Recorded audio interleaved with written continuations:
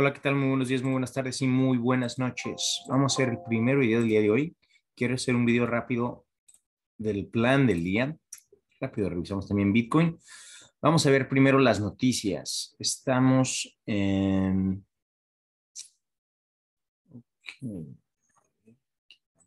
Publicidad. Estamos ahorita aquí. Acaban de pasar declaraciones, nada fuerte. En aproximadamente cerca de dos horas va a haber una noticia fuerte. Tenemos tres estrellas. Ah, entonces, en aproximadamente dos horas no es recomendable tener ninguna operación. Em, si está abierta, tratar de cerrarla. Si no hay mucha pérdida o si es que eh, hay ganancia, tratar de cerrarla. Y yo creo que es la única del día. La de las dos de la tarde, hora Pacífico, es de Nueva Zelanda. No creo que vaya a tener mucho impacto en el mercado en general, pero también hay, hay que tener algo de cuidado ahí. Ahora, vamos a ver cómo va el SP. El SP en sí, pues tratando de subir, ¿eh? No pudo, trató, falló. Quizá eso va a provocar el día de hoy mm, una caída, porque aquí está un rechazo, pero hay que observarla. Ok, eso es en los mercados generales que se supone que no deberían de tener influencia, pero lo hemos estado siguiendo los últimos meses y sí, realmente influye muchísimo. Eh, mm, Bitcoin sigue al SP como su hermano chiquito prácticamente. Ahora, ¿qué, ¿qué, está pasando aquí con Bitcoin? Pues mucho, mucha compresión aquí y hay momentos como ven, nada, nada, nada y volatilidad. Luego nada, nada y volatilidad. Este, eso hace que no haya mucho volumen a la misma vez que no haya mucho movimiento. De repente, cuando hay un movimiento es tan agresivo que uno no puede entrar. No hay movimiento y pues no uno no puede entrar. No hay volumen, uno no puede entrar. Y de repente entran movimientos muy agresivos y también cuando hay demasiada volatilidad, son los dos extremos. No hay volatilidad y es difícil entrar. Hay volatilidad y es inclusive más difícil entrar o al menos más peligroso. Es lo que hemos estado experimentando prácticamente la última semana o semana y media. Así que hay que ver qué pasa el día de hoy. Creo que seguimos en esa misma volatilidad. Muchísimo cuidado los que estén por abrir cortos o largos, que si llegan a estar del lado equivocado con tanta volatilidad, ah, puede ser una pérdida fuerte o hasta una eliminación de cuenta. Puede uno, uno volar la cuenta. Ahora vámonos a futuros, a ver el plan del día, pues aquí tenemos el plan del día en estructura. Tenemos, todavía estoy en espera de esta bajada aquí. Tenemos esta pauta correctiva y aquí nos está dando esta pauta plana, pero le he estado tocando varias veces. ¿eh? Está prácticamente aquí ronroneando, así que si rompe, tenemos que esperar que sea una ruptura y con decisión. Con tanta compresión que hemos tenido, si llega a romperlo con decisión, creo que no va a haber mucho movimiento. ¿eh? Vean, realmente no, no hay movimiento aquí. Aquí.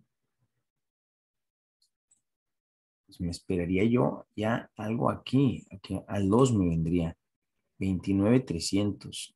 Entonces no creo realmente que, que vaya a haber mucho movimiento si es que la rompe con decisión. Tendremos que esperar a ver qué hace si es que llega aquí a ver si regresa o si continúa y nos da el, el 2.6 o el 3.5, pero ya eso es de más riesgo.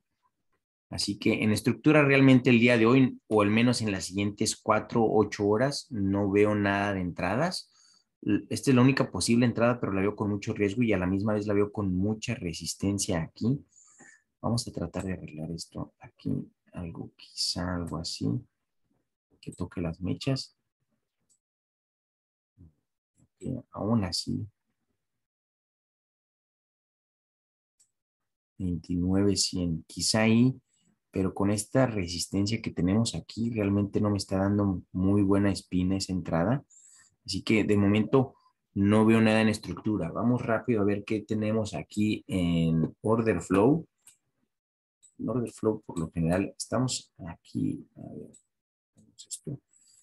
Aquí posiblemente podría ser una entrada en el BUSD, pero vamos a, medirla. Realmente son nada más 58 bitcoins. No es tanta, no, no me gustaría ponerla aquí, la considero hasta cierto punto de alto riesgo. Vamos a ver qué hay en el UST. En el UST tenemos posiblemente esta aquí, en el clúster. Son 3000. Aquí son 3000 entre compra y venta, pero la mayoría son compra y empezó a bajar. Entonces aquí tenemos pues más de 1500 bitcoins atrapadas. Sí, aquí sería un buen punto en 31 mil, 30 mil 100, perdón, 30 mil 100. Haciendo algo por aquí, un poco más abajo, vamos a ponerlo en 30 mil 70. ¿Por qué? Por la diferencia de precios. Ahorita, a ver, vamos a poner aquí. Order placed. Ahí lo ponemos. La diferencia de precios aquí podemos ver. Estamos en 29.520 y aquí estamos en 29.000 480. Entonces son como 50 dólares de, de, diferencia. Vamos a ponerlo entonces aquí en 60. Algo por, algo por ahí. Son 60 dólares de diferencia. Si llegar aquí, hay buena probabilidad que haya rebote, porque aquí va a haber rebote. Y realmente los movimientos que, están afectando los futuros son estos. El USDT, aquí está todo el volumen. ¿Ok? Rápido vamos a ver cómo va Ethereum. Ethereum yo creo que va a ser una historia muy parecida. Ah, está comprimiendo y, realmente no hay mucho de momento en cuanto a entradas por la misma compresión y la misma pues, mm, falta de movimiento o de repente movimiento muy agresivo. Eso provoca que, uno no puede entrar o cuando puede entrar es tan peligroso que es mejor no entrar. A ver, aquí seguimos en espera de esta bajada y bueno, si llegara a romper aquí,